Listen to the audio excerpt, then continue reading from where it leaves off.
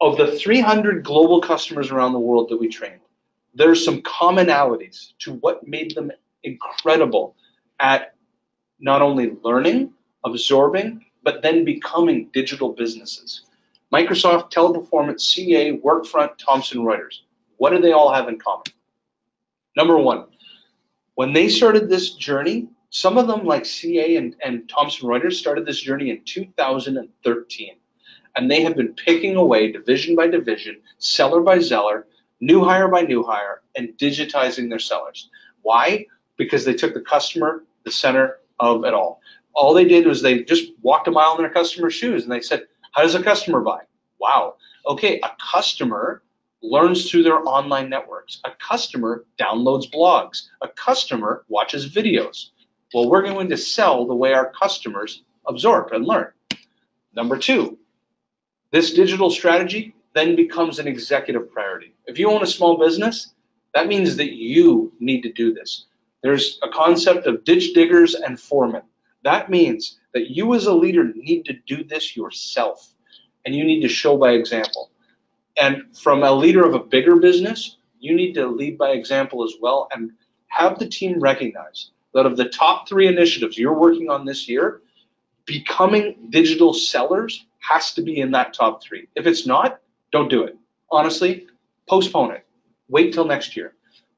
Do not try to do this hap- haphazardly to transform a business to become digital.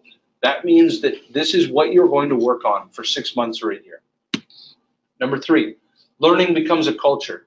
You're, you're willing to fall down, you're willing to embed this into your DNA and measure it and evolve.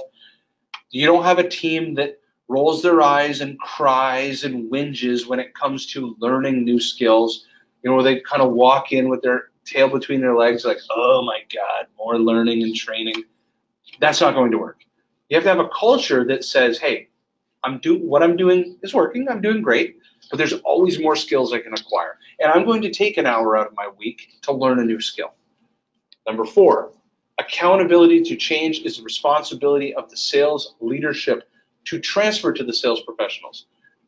Where I see the biggest failure in frontline sales managers is they think that whether it's sales enablement or ourselves or people are going to transfer these sellers skills and that the leaders can sit behind a desk and just watch spreadsheets all day long and they themselves don't need to become digital and they themselves don't need to be a coach failure it will never take hold. It will never become part of the, the company's culture long term.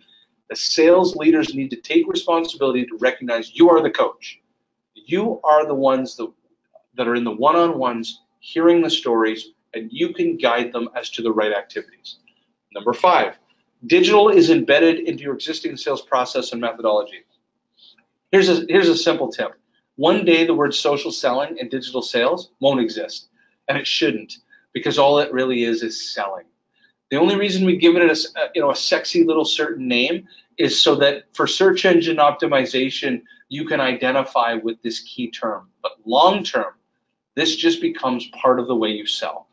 There should be no difference when you leave a voicemail and you send out an email. You should also make a customer a quick video.